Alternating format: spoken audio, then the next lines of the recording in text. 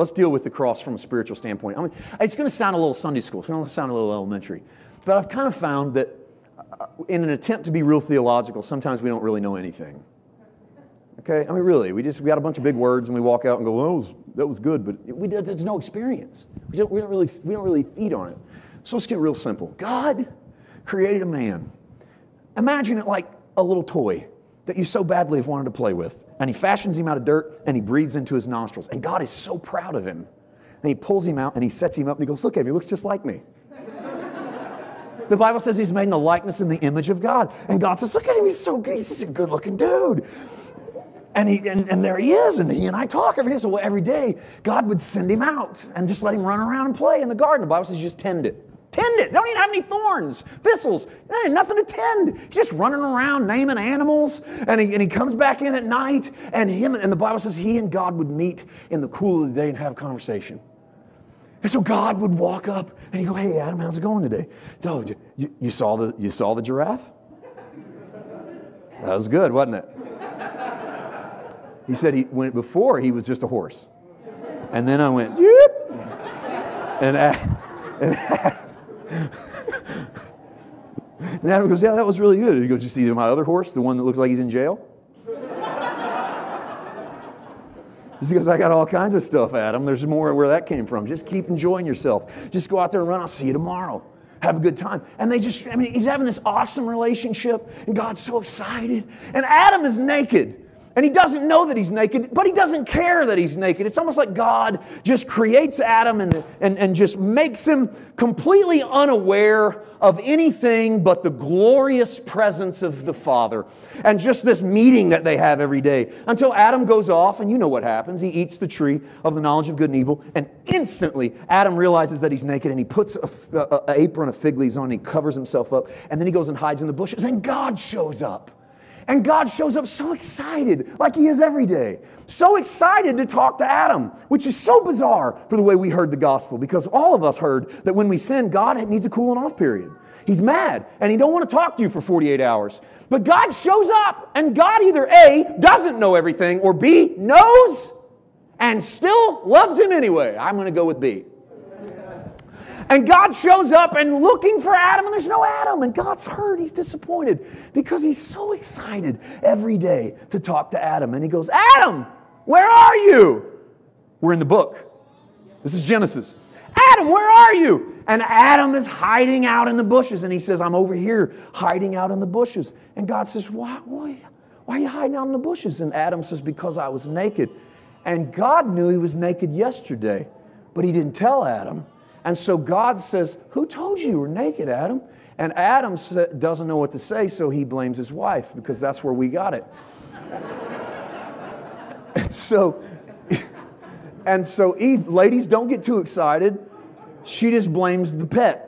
That was the dog's fault. Eve goes, That was the snake.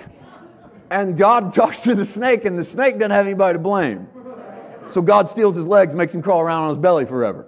And so then he's gone. Well, Adam, this is the power of the gospel of Jesus Christ. It's so beautiful because what God is doing is God is just wanting Adam to just come on over and let's just have fellowship like we did yesterday. But Adam has a mental block now. Adam has a problem called a sin consciousness because now Adam feels separated from God because Adam is aware that he's naked.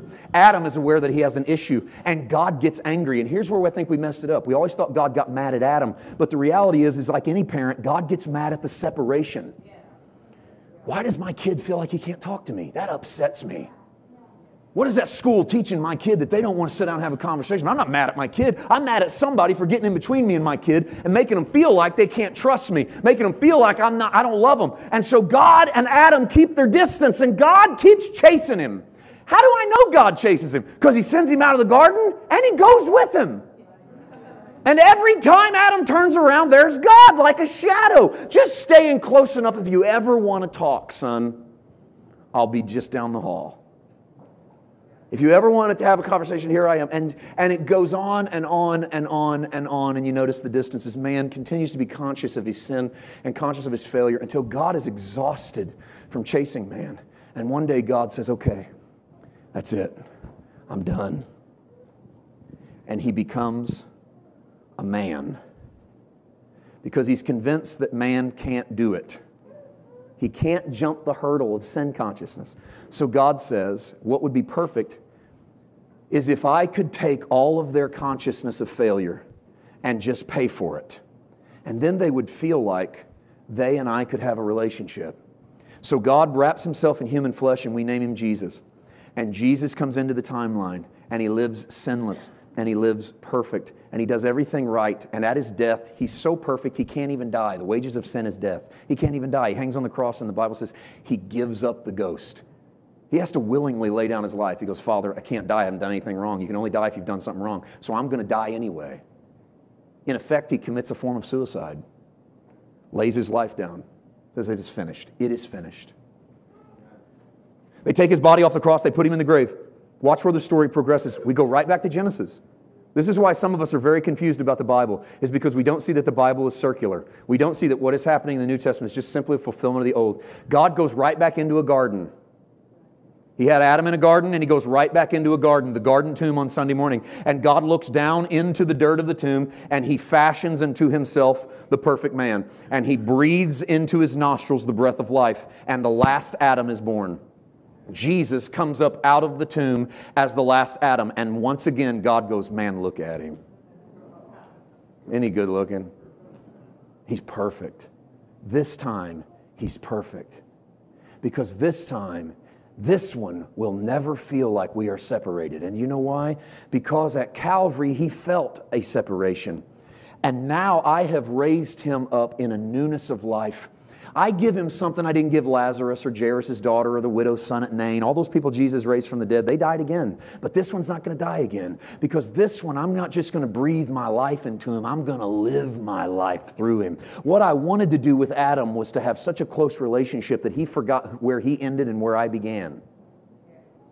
But then sin consciousness made him realize where he ended and I began, and he thought it was a big gulf. But this one has done it right.